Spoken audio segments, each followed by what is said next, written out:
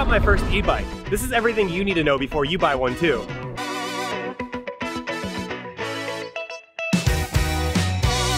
About a month ago, I bought my first e-bike.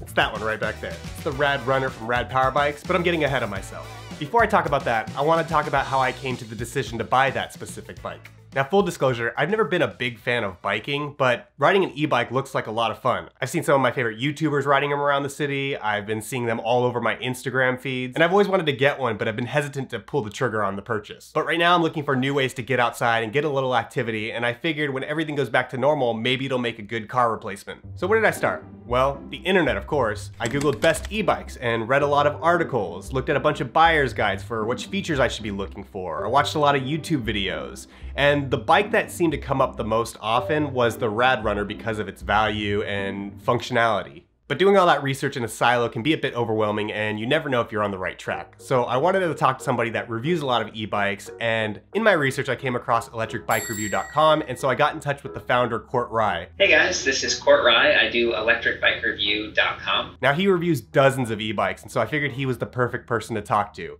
So Court, what different types of e-bikes are there? Got cargo bikes, that's one category that to me is just like perfect fit for e-bikes because a lot of people might be trying to do kind of a car replacement or live in a busy city and parking's an issue and you're like well this is fun. I'll get a cargo bike. There are trikes for possibly like an, an older rider or someone whose balance might be an issue you know? You just need that extra stability. They're really cool trikes. And then there's this category of like fat tire bikes which are fun stable off-road capable a little bit but it's it's almost kind of like a look thing like an suv so it sounds like I'm looking for something between a commuter and a cargo bike. So what kind of features should I be looking at?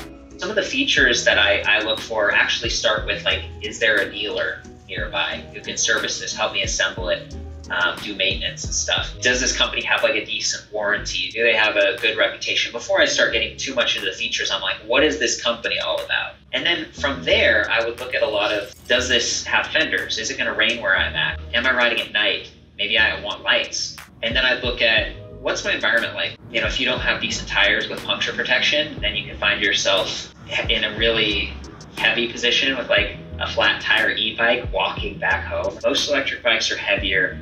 I want a drivetrain that has lots of gears or at least a good spread. And what that means is like 10 tiny little sprocket and then like 50. And that, that gives you leverage over the wheels. And it means that I could climb very efficiently. And then of course, like the motor, people have probably been waiting this whole time, like, what about the motor? You know, which motor do you need? If you're a really heavy person and maybe you're just getting back into cycling, or you just want that little scooter experience, you're going to want a heavier, heavy duty motor. So we have up to 750 watts nominal, which means it can peak higher than that. Mid drives are going to be more efficient, more balanced. Like the lower and more centrally mounted that weight is for the motor or battery, the better the experience is going to be.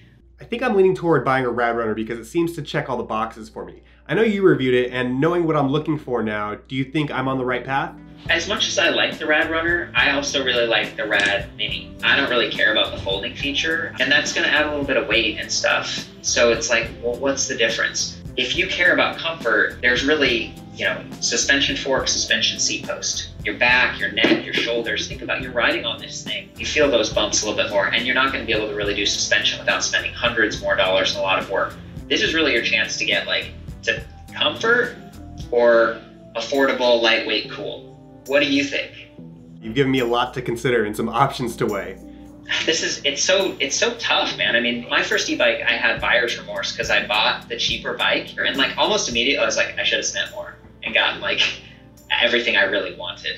So I'm comparing the Rad Runner to the Rad Mini on electricbikereview.com, and I gotta say, the arguments for comfort are very strong. However, because I'm not 100% sure how invested I am in riding an e-bike, I think that lower price point is a lot more compelling for me. So I just gotta confirm my address and purchase, and now I just gotta wait for it to get here.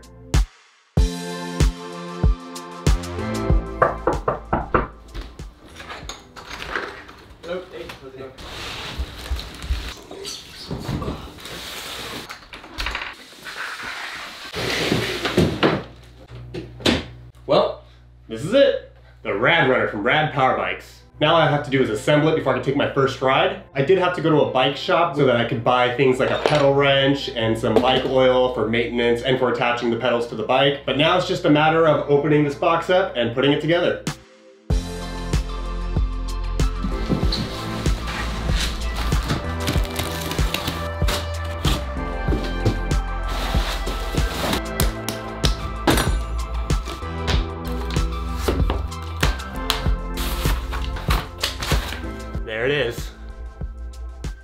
The battery.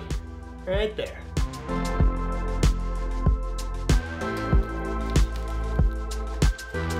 Let's find out what's in this box, shall we? Okay, it opens that way.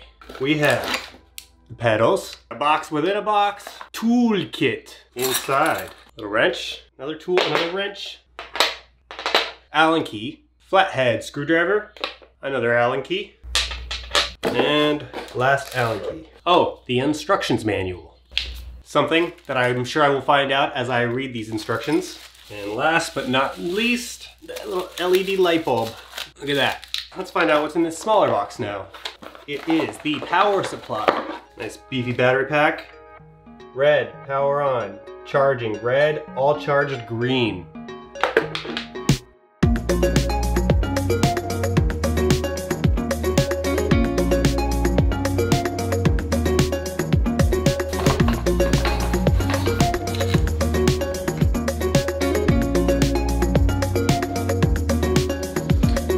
And there you have it, an assembled e-bike. All right, let's take it outside and give it its first ride. I'm gonna put the key into the ignition to power on the battery. Right here's the controls. Power on, shows the battery indicator on the front side.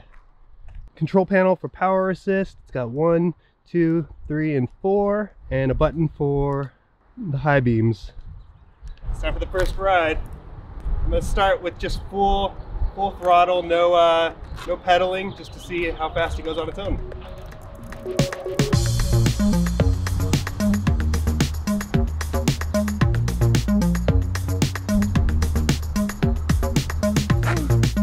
It's hard not to have a smile on your face the first time you, you do it. This time, I'm gonna do some pedaling. I'm gonna progressively go use more and more assist just to see how the difference in effort is. Here we go, starting on one.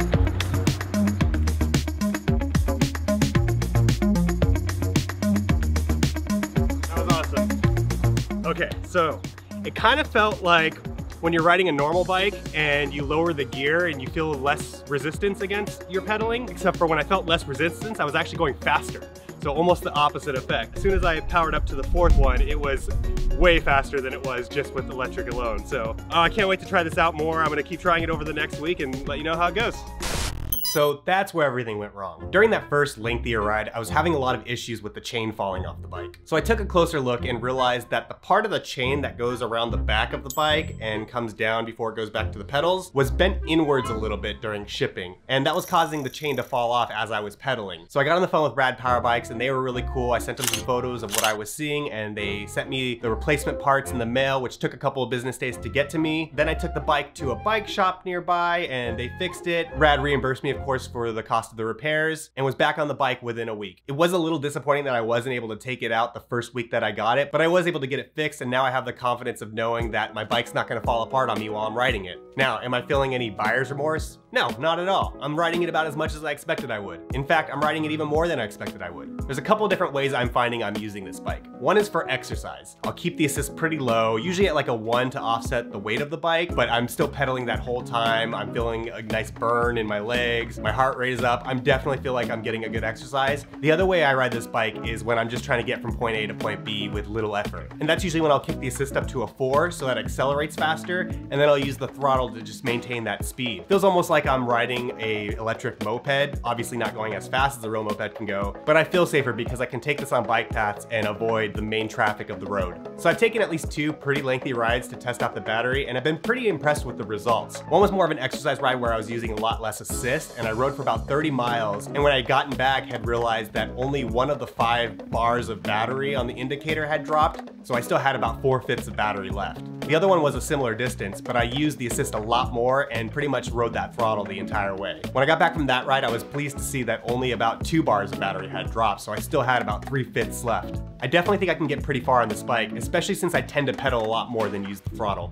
Now, I have to admit, I am having a little bit of regret not taking Court's advice and going for the Rad Mini, but not really for the reasons he pointed out. One reason I think the Rad Mini probably would have been a better purchase for me is I live in a second floor walk-up apartment, so anytime I go out for a ride, I have to lug this 50 pound bike up and down some stairs, and I think being able to fold it would make that a little less awkward. The other reason is I was hoping to store this bike outside on the balcony where my wife stores her bike, but because of the weight and the size, it really takes up too much room out there. So instead I find myself having to store the bike in my office where I have to track dirty tires through my apartment every time I come back. It is a pretty cool office decoration though. And lastly, and this is a big one, I can't fit this thing in my car. I drive a tiny little Prius C and I can barely fit a normal bike in the back, let alone a huge e-bike like that one. So this is now starting to lead to discussions like, should we get a bike rack? Should we get a bigger car to support the weight of that bike rack? And I can feel myself going down a costly rabbit hole. That said, I am completely satisfied with my purchase and expect to be riding this thing for at least the next year. At which point I may sell it and trade it up for an even better e-bike. Depends on if my interest in this wanes over the coming months. So do I recommend that you buy an e-bike?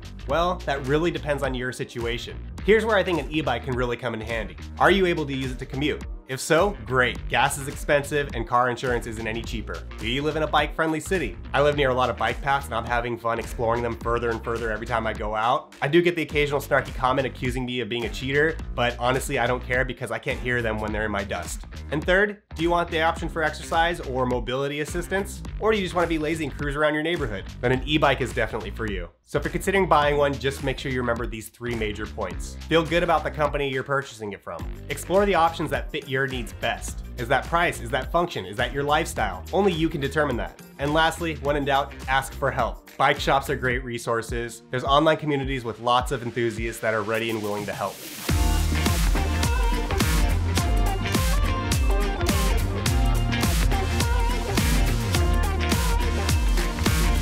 Well, that's it. Everything you can expect if you're gonna buy your first e-bike. I wanna thank Court Rye from electricbikereview.com for all his excellent advice. And if you're thinking about getting your first e-bike, what kind are you considering? Or if you're an e-bike veteran, what starter tips do you have? Drop them down in the comments. Make sure you check out cnet.com for more excellent e-bike articles. And until next time, I'll see you out there on the road.